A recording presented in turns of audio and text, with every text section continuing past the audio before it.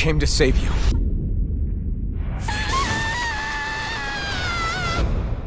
Tales of Arise ได้เปิดตัวมาอย่างยิ่งใหญ่ด้วยแนวทางใหม่ gameplay ที่ดีเยี่ยม รวมทั้งกระแสตอบรับที่ดีได้พาเกมนี้ได้รับรางวัล Best RPG ประจำปี 2021 แต่กว่าที่ซีรีส์นี้จะมาได้ไกลขนาดนี้ มันมีที่มาอย่างไรบ้าง มารับชมได้ในคลิปนี้เลยครับ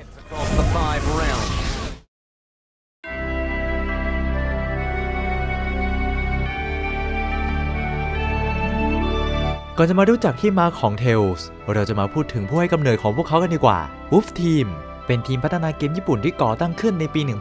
1986 บริษัทนำโคได้เปลี่ยนชื่อ Wolf Team เป็นนำโค Tales Studio ในปี 2003 เมื่อ Telenet Japan ขายหุ้นบางส่วนทำให้นำโคเป็นผู้ถือหุ้นรายใหญ่ และชื่อนำโค Tales Studio เดิมทีเป็นผู้พัฒนาหลักของซีรีส์เกม Tales ตั้งแต่ยุคบุกเบิก เมื่อวันที่ 21 พฤศจิกายน ปี 2011 มีการประกาศว่า Namco Tales Studio ถูกยุบแล้วรวมกับ Bandai Namco Games อย่างเต็มตัว เดิมที Wolf Team เป็นกลุ่มพัฒนาเกมให้กับ Telenet และมีหัวกลุ่มคือมาซาฮิโร่อากิชิโนะแต่ด้วยปัญหาพนักงานภายในณตอนนั้น ทีมงานคนอื่นๆ จึงพากันลาออกรวมถึงหัวกลุ่มอากิชิโนะด้วย เหลือสมาชิกไว้คือโยชิฮารุโกทันดะโปรแกรมเมอร์และคนเขียนบท ดีไซเนอร์มาซากิโนริโมโตะ director โจอาซานุมะ artist graphic ยูชิฮากิอินากากิ composer โมโตอิซากุระบะ และผู้ออกแบบเอฟเฟกต์เสียง เรียวตะฟูริยะ แม้จะเหลือสมาชิกไม่กี่คน Wolf Team ก็ยังเดินหน้าสร้างเกมอย่าง Sol-Feace และ h i o d e n Mamonotachi Tono Chikai และต้องเผชิญหน้ากับยอดขายที่ไปได้ไม่สวยนัก สำหรับ Tales of Phantasia ซึ่งเป็นนิยายที่ไม่ได้จำหน่ายของโกทันดะ พวกเขาจึงมองหาผู้ที่ตอบรับไอเดียที่จะทำให้มันเป็นที่รู้จักมากกว่านี้ พวกเขาเลยลองเสนอให้กับ Enix แต่ทาง Enix ไม่รับนะครับ จึงไปเสนอกับนำโคพร้อม Telenet แทนด้วยมุมมองของทางนำโคยืนยันที่จะเปลี่ยนแปลงเกมหลายอย่าง รวมถึงการเปลี่ยนชื่อจาก Tales Fantasia เป็น Tales of Fantasia ความขัดแย้งเกี่ยวกับการเปลี่ยนแปลงเหล่านี้ ทั้งภายในทีมงานหรือว่าการพัฒนา ทั้งผลักดันให้เกมวางจำหน่ายตั้งแต่ 1994 จนถึงปลายปี 1995 ก็ได้มี Tales of Fantasia ออกมาให้ได้เล่นกันกำเนิดตำนานแห่ง RPG この世に悪があるとすれば、それは人の心だ。 「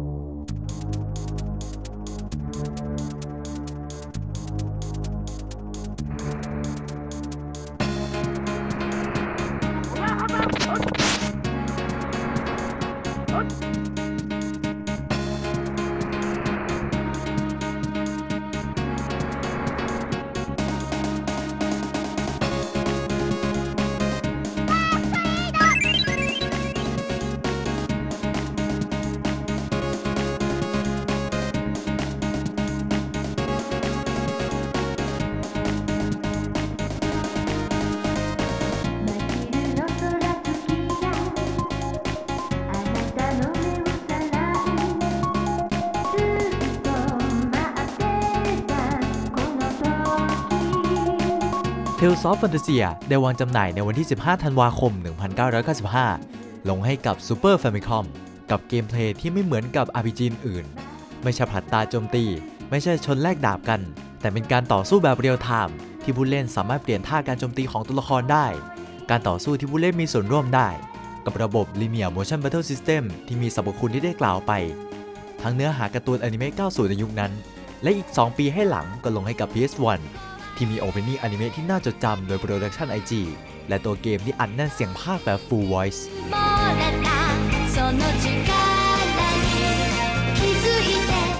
แต่ก่อนจะไปดูความสำเร็จครั้งต่อไป มาดูกันว่าเกิดอะไรขึ้นภายในบ้างด้วยปัญหาภายในของ Wolf Team และ Namco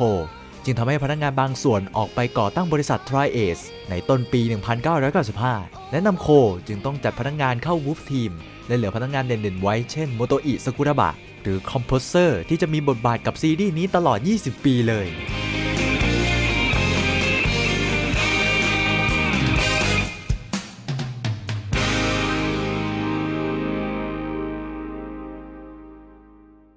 และต่อมาในปี 1996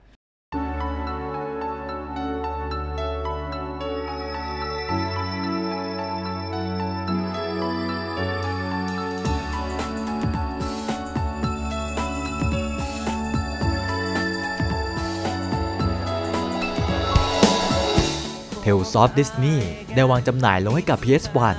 โดยที่ยังเหลือองค์ประกอบของภาคแรกเอาไว้ สิ่งที่เปลี่ยนไปคือเนื้อเรื่องและการนำแอนิเมชันมาประกอบเนื้อหา รวมทั้งในปี 2006 ก็ได้มีการทำ Director Cut Version และ Remake Version ลงให้กับ PS2 ที่ใช้ระบบ Change Kappa ที่จะกำหนดการโจมตีของผู้เล่น แต่เดี๋ยวจะเอาพูดในรอบต่อๆไปนะครับ โดยภาคนี้เนี่ยก็ได้รับเสียงตอบรับเป็นอย่างดีเยี่ยมเลย นอกจากเพลง เนื้อหาแล้ว เกมนี้ก็ยังเป็นที่พูดถึงไปตลอดเกือบ 20 ปีเลยนะครับ เพราะเพลงทั้งเพลงทั้งเนื้อหาในเกมนี้เป็นอมตะมากเลย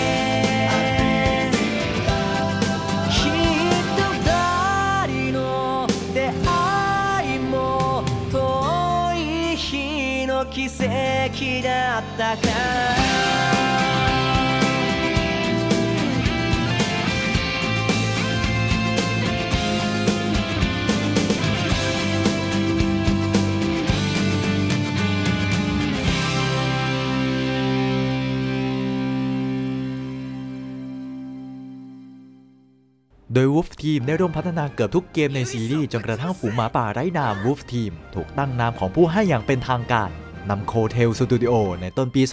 2003 และใช้ชื่อนี้ครั้งแรกใน Tales of Symphonia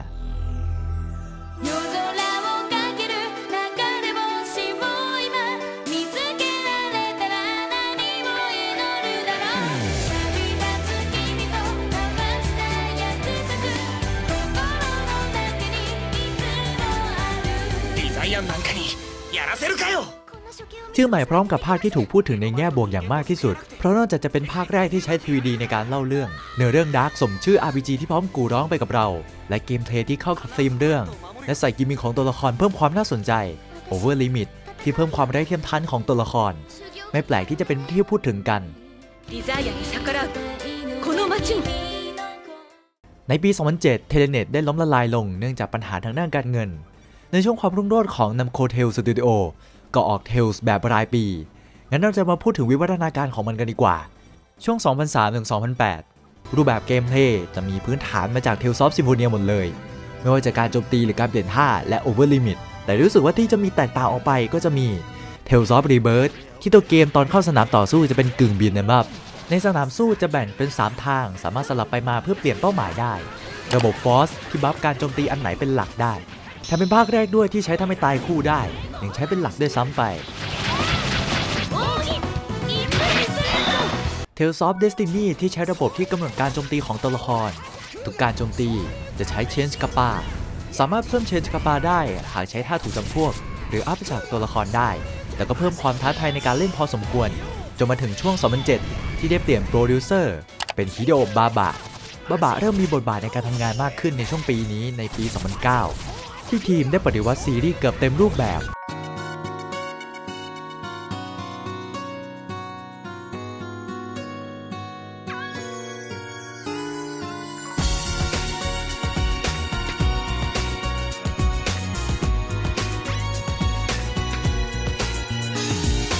กับ Tales of Graces ที่ตัวเกมจะเน้นความแอคชั่นมากขึ้น ให้ผู้เล่นโฟกัสกับ combo โดยระบบการต่อสู้ที่ลึกขึ้น โดย Style Shift Linear Motion Battle System ที่มีการโจมตีธรรมดาและโอกิโจมตีธรรมดาก็จะมี command การกดเป็น layer ตามสไตล์เกมต่อสู้อยู่แล้ว อยู่ที่ผู้เล่นจะผสมออกมายังไง และสามารถสลับไปใช้โอกิเพื่อใช้ท่าที่ผู้เล่นจัดเตรียมไว้ได้ รวมทั้งระบบ Over Limit ภาคนี้ ก็จะทำให้ตัวละครไร้เทียมทานกว่าเดิม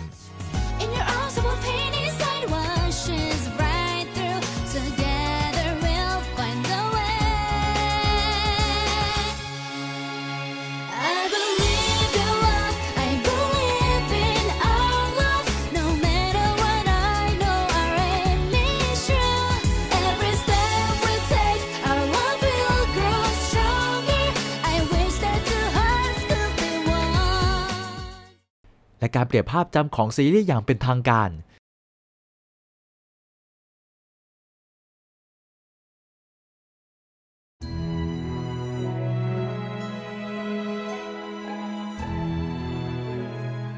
Tales of Xillia ที่เปลี่ยนการนำเสนอแบบเท็กซ์เป็นการสนทนาใน cutscene การเล่าเรื่องจะมีความ cinematic มากกว่าเดิม ภาพแอนิเมชันที่รังสรรค์โดย u f o t a b l e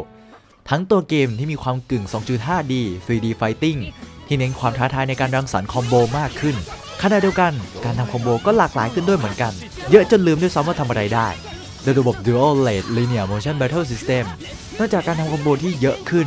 ภาคนี้ก็จะให้ความสำคัญกับเพื่อนในปาร์ตี้มากขึ้น เพราะว่าสามารถลิงก์กับเพื่อนในปาร์ตี้ได้ แถมทำคอมโบสักพักยังสามารถใช้ Link Arte ได้อีก เมื่อถึงจังหวะ Over Limit ทีนี้ก็จะละเลงได้เต็มที่เลย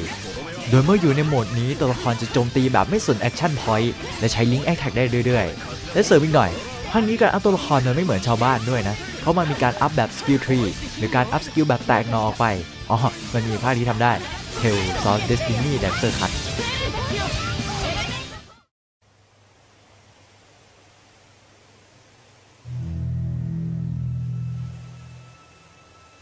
お前にできるのか選択が 破壊が審判を超え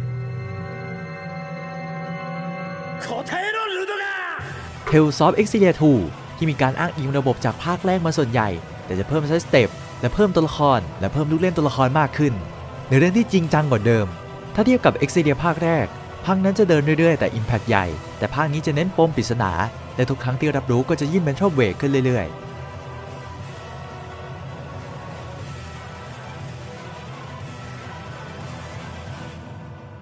少女のために世界を壊す覚悟があるかはいありがとうございます และในยุคที่พวกเขามาถูกทางและรุ่งโรจน์ในวงการ JRPG และทำไมพวกเขาในช่วงนี้ถึงเงียบหายไปอย่างน่าเป็นห่วงแม้ว่าจากที่นำโคเทลส์ถูกยุติลงในปี 2011 เนื่องมาจากนำโคเทลส์มีปัญหาการเงินอย่างรุนแรง ที่มีหนี้สินถึง 21 ล้านดอลลาร์ สมผลทำให้นำโคเทลส์ถูกยุบตัวลง และหลอมเข้ากับนำโคเกมส์อย่างเต็มตัว และในปี 2012 จะเป็นครั้งสุดท้ายที่เราจะเห็นชื่อของ Namco Tales แต่ความหวังยังไม่หายไป เมื่อ Bandai Namco ได้ประกาศ Tales of ลำดับที่ 15 ภาคฉลองครบรอบ 20 ปี Tales of Tales of Zestiria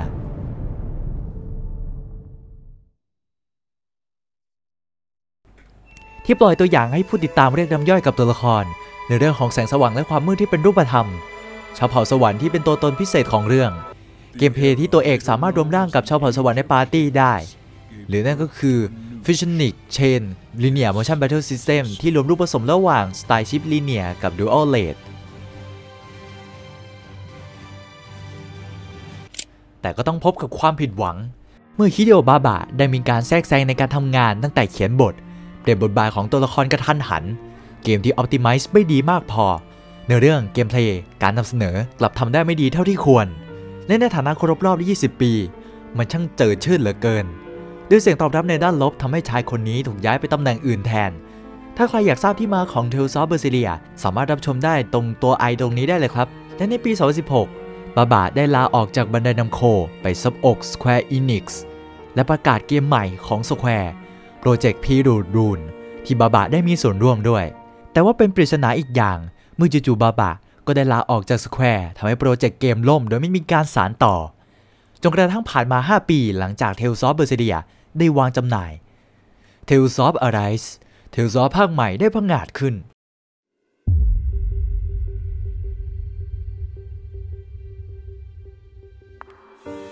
A tale can be woven from either fact or fiction. Tales of Arise ได้ประกาศตัวครั้งแรกใน E3 2019 ที่เป็นการปฏิวัติอีกครั้งของ Tales of Series กับภาพจำใหม่ Art Style และการนำเสนอรูปแบบใหม่ของซีรีส์ และ Engine ในการพัฒนาที่ไม่ใช่ Autodesk แต่เป็น Unreal Engine 4 ที่อัพสเกลภาพมากกว่าภาคที่ผ่านมา และ Art Style ที่ไม่ใช่คุณอิโนมาตะมุตสึมิ หรือว่าคุณฟูจิชิมะ แต่ Art Design หลักจะเป็นคุณมิโนรุพร้อมทั้ง Gameplay ที่ได้ทีมพัฒนาจาก Gracious Exilia b e r s i l i a มารวมไว้เข้าด้วยกัน นี่เป็นการรวมกันของสุดยอด Gameplay ทั้ง 3 ภาคเอาไว้ด้วยกัน มีการควบคุมตัวละครแบบ b e r s i l i a มีการต่อสู้และการอัพตัวละครแบบ Xillia มีความไร้เทียมทานแบบ Graces ทำให้ภาคนี้มีความลึก มีความสนุกในการทำคอมโบ แถม Character ของตัวละครเล่นง่าย เหมาะสำหรับ Newcomer และฟื้นฟูในสิ่งที่บาบะเคยภาพพังไว้ในอดีต ตอนนี้พวกเขาก็พร้อมที่จะกู่ร้องอีกครั้ง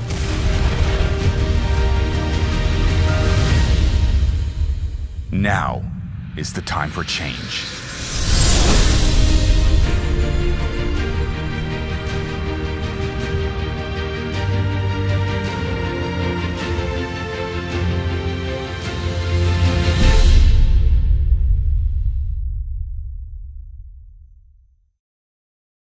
แม้ว่าในตอนนี้จะยังไม่มีประกาศภาคใหม่ออกมา